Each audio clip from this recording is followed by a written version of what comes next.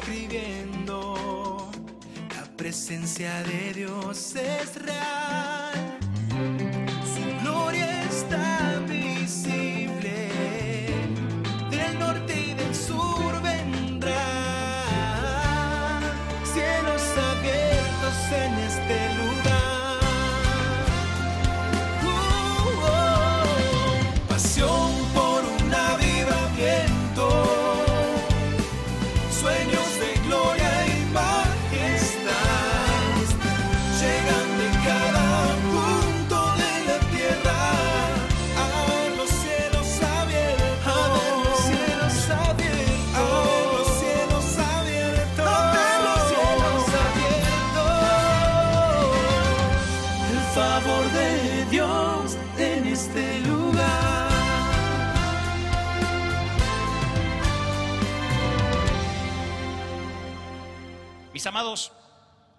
Quiero que me presten la mayor atención como lo hacen siempre, cada domingo.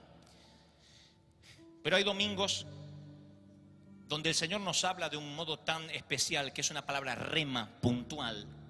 Es una palabra que no podría ser predicada, por ejemplo, en otro lugar, porque tiene que ver con la historia, tiene que ver con lo que Dios está haciendo. Ustedes deben recordar que hay dos caballeros en el camino a Emaús. El Señor ya ha resucitado, si no lo recuerdan se las cuento, el Señor ha resucitado, pero los discípulos están alborotados aún, puesto que no saben nada del Señor. Hay de los que piensan que el plan del Señor fracasó, puesto que Él venía quizás a vencer el imperio romano y no lo pudo hacer. Otros piensan quizás cuando el Señor hablaba de la resurrección era metafórico y Él ahora literalmente está muerto y ahora a nosotros nos van a arrasar por ser sus seguidores. Había un alboroto, aun cuando el Señor les había dicho que eso tenía que ocurrir. Y dos individuos, se presume dos de sus discípulos, van camino a un sitio llamado Emaús y en el camino están tan apesadumbrados por los acontecimientos, no se le borran de sus retinas la imagen de Jesús pendiendo de una cruz, desnudo, sus venas laceradas, sus tendones aplastados, las heridas gangrenándose. Esa, esa imagen es terrible, no es lo mismo verlo en una película de Hollywood que verlo en vivo. Así que piensan en todo lo ocurrido, en si esto fue un error, en si este era un Mesías verdadero o no lo era. ¿Qué va a pasar con ellos ahora? Y la Biblia narra que de pronto en el camino se les une Jesús resucitado y empieza a caminar con ellos, pero no lo reconocen porque el Señor no quiere que todavía lo reconozcan. Literalmente la Biblia dice que sus ojos estaban velados, vedados para que no lo puedan reconocer. Y el Señor empieza a caminar al lado de ellos y se une al coloquio, se une a la charla. Entonces el Señor pregunta, ¿qué pasó? Como ignorando todo lo que había ocurrido. El mismo Señor que había sido crucificado ahora con un cuerpo de gloria, pregunta, ¿qué pasó? ¿Cuál es el problema? Y le dicen estos muchachos, ¿cómo que no sabes? ¿Eres forastero? ¿No te acabas de enterar lo que está en la primera plana de todos los periódicos? Han crucificado al que se decía el Mesías, al que se decía el hijo de David, el hijo del carpintero José de Nazaret. Lo han crucificado, eh, ha sido un tumulto increíble en toda la ciudad. Todo el mundo no habla de otra cosa. ¿De dónde vienes que no sabes lo que está pasando? Y el Señor, aún sin revelarse, les dice, qué incrédulos que son. ¿Acaso no es lo que dijo el Señor que tenía que ocurrir? Hablando de sí mismo en tercera persona. ¿Acaso no es lo que estaba profetizado? Y la Biblia dice que les empieza a contar desde Moisés, pasando por todos los profetas, les empieza a relatar la Biblia, o lo que en aquel entonces era el, antiguo pacto, el Pentateuco, les empieza a contar todo lo que la Biblia narraba los profetas, lo que había hecho Isaías, lo que había dicho Jeremías, Daniel, todo lo que los profetas habían dicho respecto a él mismo, a Jesús. Y ellos decían, wow, no lo habíamos visto de esa manera. Pero me sorprende que hay tres cosas que ocurren. Tres cosas que yo siento y percibo que han ocurrido y que están ocurriendo aquí en la iglesia y que tienen que ocurrir para que seamos saludablemente espirituales y más cerca de la unción. Los que tengan Biblia, acompáñenme conmigo, por favor, al libro de San Lucas, el capítulo 24 y el versículo 13. San Lucas 24, 13.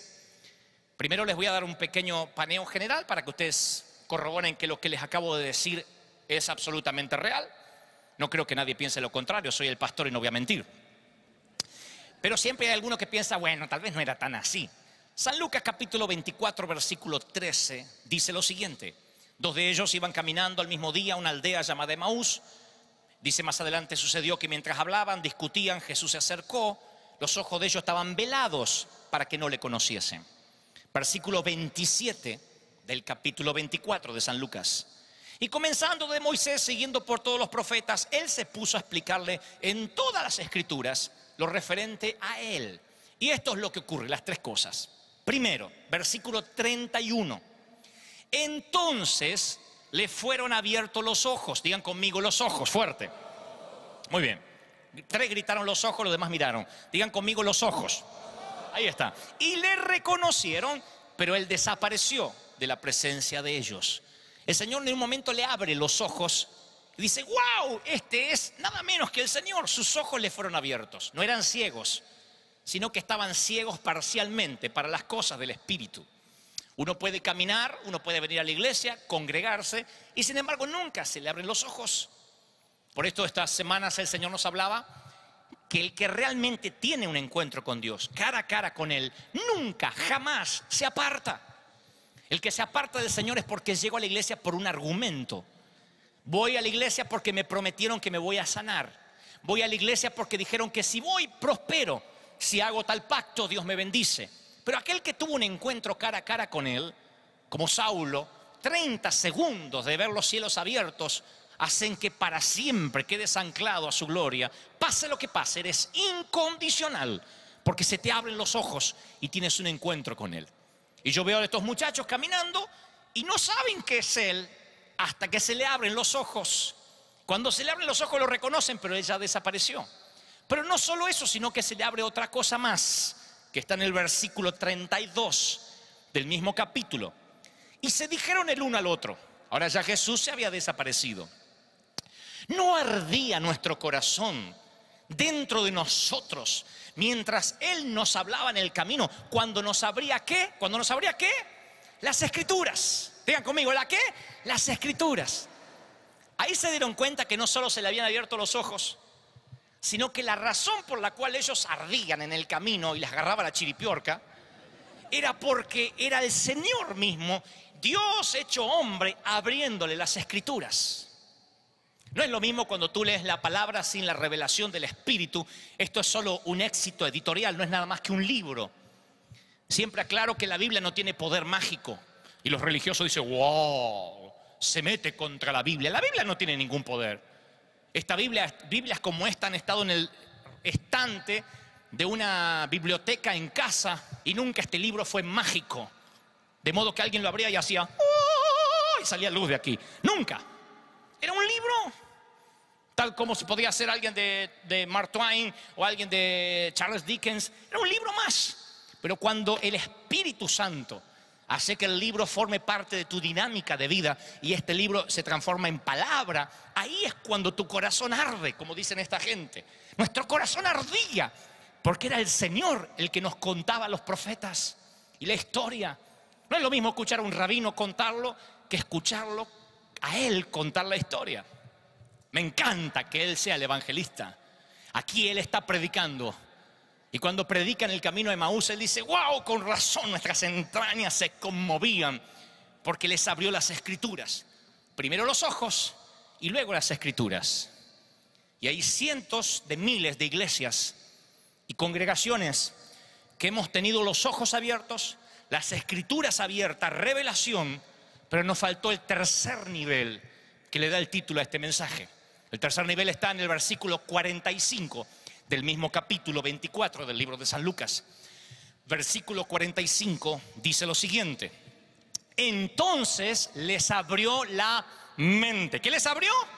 La mente, para que comprendiesen las escrituras. Primero les abrió los ojos y se dieron cuenta que caminaron con él, luego les abrió las escrituras, su corazón ardía y ahora les abrió la mente para que comprendiesen lo que les acababa de abrir.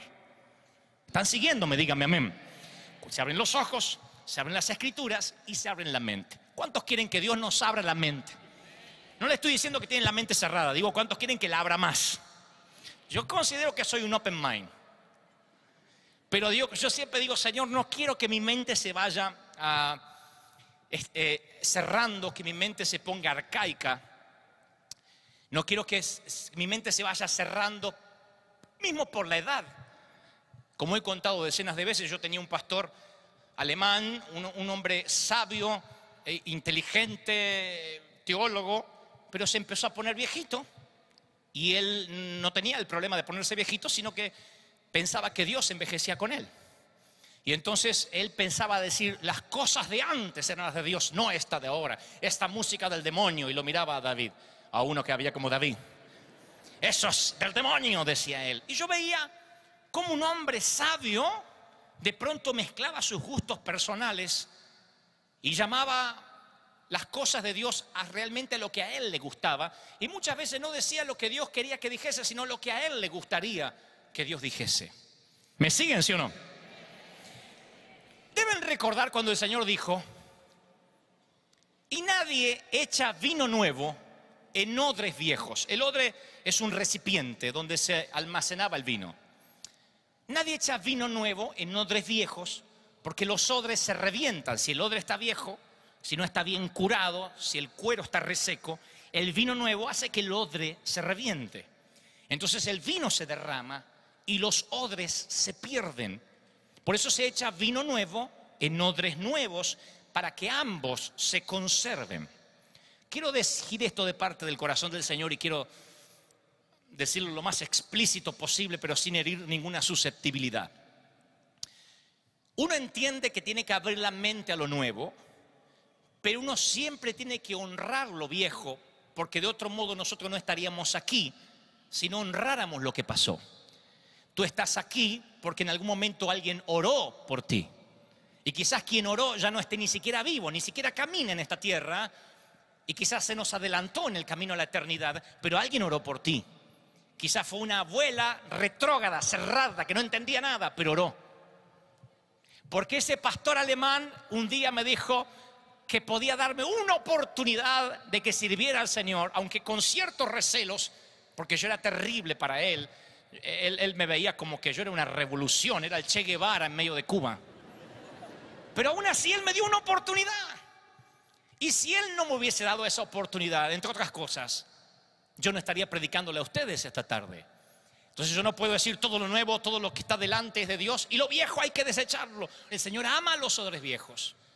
Ama a aquel que dice, es que a mí me cuesta, algunas cosas me cuesta eh, prepararlas, eh, eh, digerirlas. Y el odre viejo no es desechado porque es viejo, sino porque tiene que ser reemplazado. Dios te da un tiempo a que abras la mente y de otro modo tiene que reemplazarte. Y me pregunto cuántos hoy están aquí sintiendo en su corazón que han perdido oportunidades y han sido reemplazados por no querer abrir la mente y creer lo que Dios les estaba diciendo que hiciera.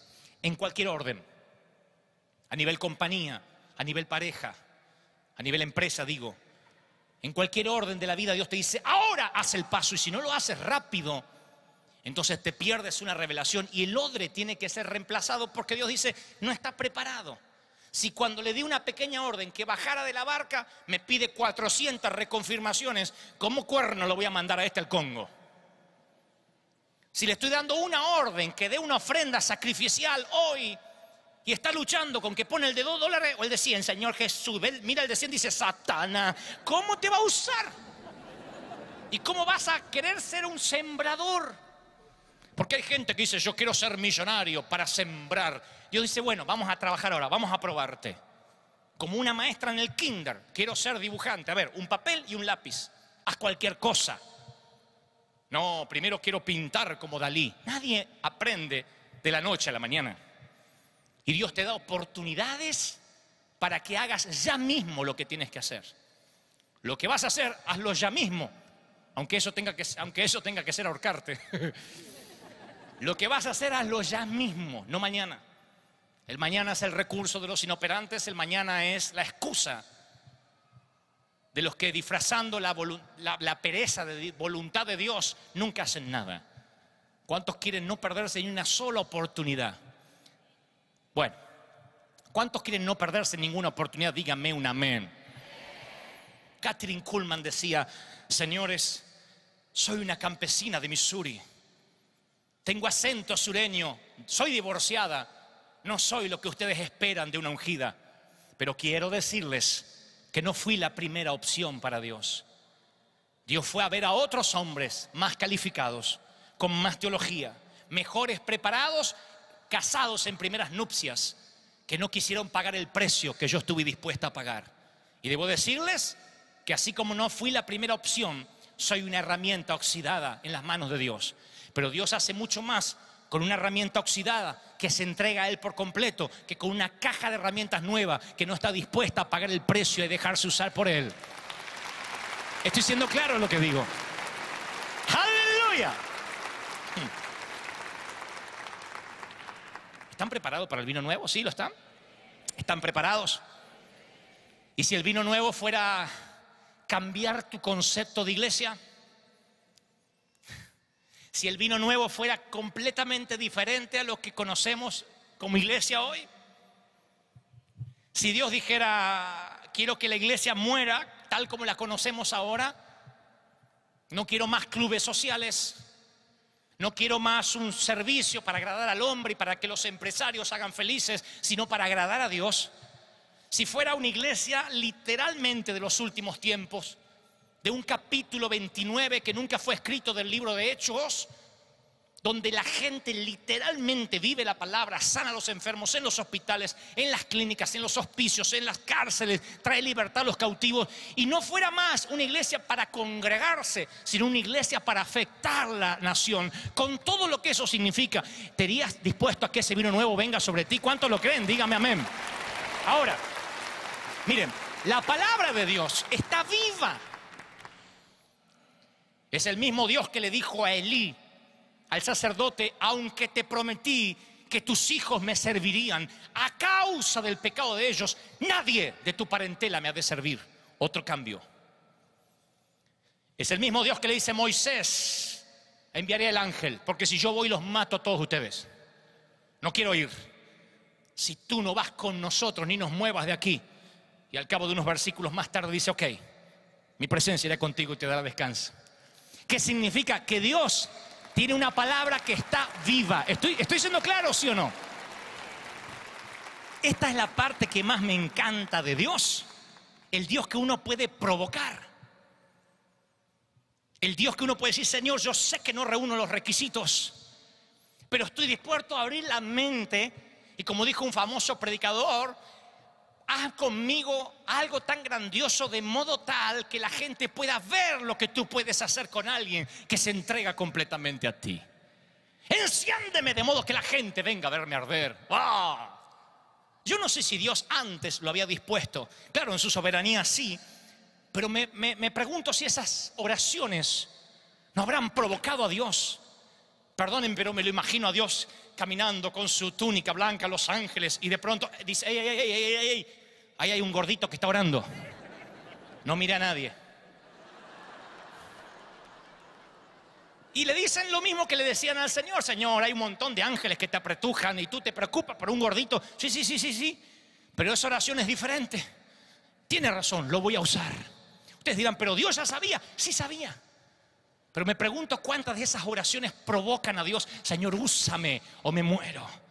No he dejado de orar eso cada día, de cada mes, de cada año, de estos tres años que me toca estar al timón de este Boeing 777. Cada vez que me he parado aquí he dicho, Señor, o nos usas o morimos. No quiero ser una iglesia más, queremos ser la iglesia donde algo está ocurriendo. Aleluya. Santo.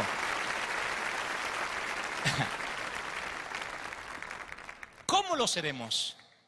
En vez de andar cuidándose de la levadura de los fariseos, recuerden que ustedes tienen el mismo principio.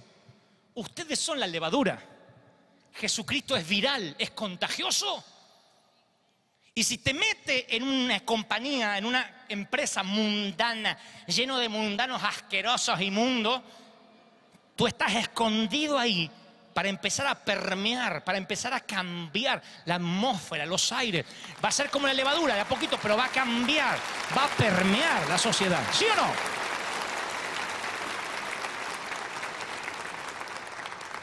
Cuando uno entiende esto, se nos abre la mente para entender que el gran problema que hemos tenido como iglesia es que nunca fuimos misioneros, fuimos colonizadores, que es diferente. El misionero aprende el idioma del sitio que va a misionar. El misionero tiene que aprender las costumbres, las comidas, las formas, las que no van contra la moral. Porque yo he conocido historias de misioneros que van a predicar a los esquimales y la primera noche le dicen, llévese a mi esposa, es una, si no me ofende, tengo una noche con ella. Y alguno dice avivamiento, no, eso no, eso no, no es de Dios. Eso va contra la, la moral, pero es cultural allí. El misionero tiene que aprender, el colonizador no hace eso. El colonizador imponía sus reglas, imponía su religión, imponía sus comidas y su bandera. Por eso nosotros venimos de países que han sido colonizados por los ingleses, por los españoles. Y no es que venían a colonizar y nos decían, ¿quieren tomar mate? Nosotros venimos a respetar. No, plantaban una bandera. Eso hicieron con Israel durante años los imperios persas, los sirios, los egipcios, los romanos. Venían y colonizaban. Y decía, cambia la moneda, cambia la bandera, cambia el idioma, cambia la cultura. Y hemos hecho eso con el mundo. Los hemos querido colonizar. Arrepiéntase, cambie las cosas y después cuando esté higiénico venga a la iglesia. Los hemos querido colonizar y le hemos dicho hasta cómo tienen que vestirse para que sean parte de nuestro club. Y no hemos misionado. El Señor dice, si ustedes misionan, nadie va a enterarse que están allí. Se van a meter y de pronto van a empezar a irrumpir, van a empezar a crecer, van a enquistarse en la sociedad.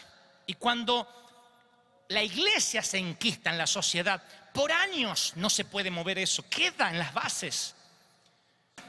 Nosotros tenemos algo a favor en este país, que la primer levadura que fue metida fue puesta por hijos de Dios. Y entonces tenemos que excavar esos pozos y los vamos a encontrar. Allí está el agua, allí está el agua. Aleluya. ¿Cuántos dan un aplauso al Señor por eso dicen, lo creo? Aleluya, aleluya. La gloria de Dios está allí. Aleluya.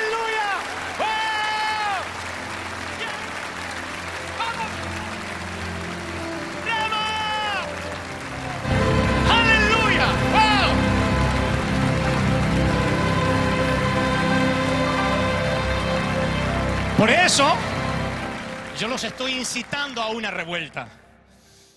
Los estoy incitando, como digo siempre, que sean parte del escuadrón de emergencia en combate contra las filas invasoras. En que marquemos las diferencias. Necesito tu 100%, no tu 60%, tu 100%. Yo sé que Dios lo está haciendo. Este crecimiento que se dio acá milagroso es porque eso viene. Va a ser algo contagioso. No será la televisión, no será la prédica del pastor, no será la música. Porque si eso fuera un secreto, sería cuestión de tocar estos coros, traer un predicador más o menos divertido. ¡Wow! Hacemos Coca-Cola. No funciona así. Dios abre los cielos arbitrariamente. Y no hay quien le diga, ¿qué haces? Dios abre una fisura en los cielos.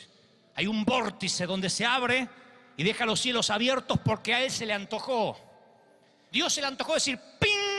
Y abre los cielos. Nuestra única tarea consiste en, número uno, mantener los cielos abiertos con adoración, dándole la gloria siempre. Número dos, nunca danzar frente a la zarza. Podemos decir, tenemos el avivamiento. Nunca Dios hace algo para adentro, siempre lo hace para afuera. Su corazón está en las almas perdidas. Su corazón está en los que ahora se están reventando las venas con droga, inhalando cocaína, emborrachándose, golpeando a la mujer, violando a sus hijos. Ahí está el corazón del Señor. En eso que es antihigiénico, sucio, deplorable, en la gente marginal. Ahí está el Señor. Lo nuestro es un detalle. Dios está aquí adentro, pero mirando hacia afuera. Está aquí adentro porque lo ata la promesa que donde están dos o tres, Él va a estar, pero mirando por los vidrios hacia afuera, mirando hacia afuera. Ahí está el corazón del Señor, mirando hacia afuera. ¿Cuántos están conmigo? Dígame amén. ¿Están conmigo de verdad? Dígame amén. Aleluya. Wow, yo siento una gloria, hay una unción tremenda. La gloria de Dios ha caído aquí.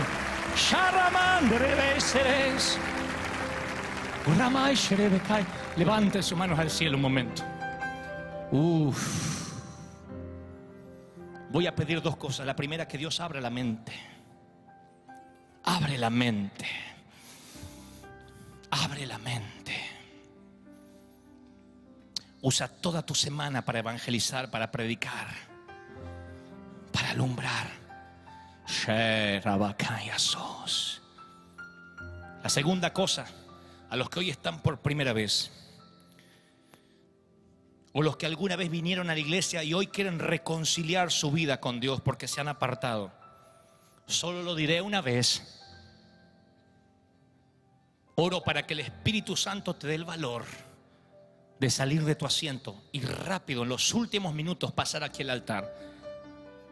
Quisiera estrechar tu mano, orar por ti y darte la bienvenida a bordo.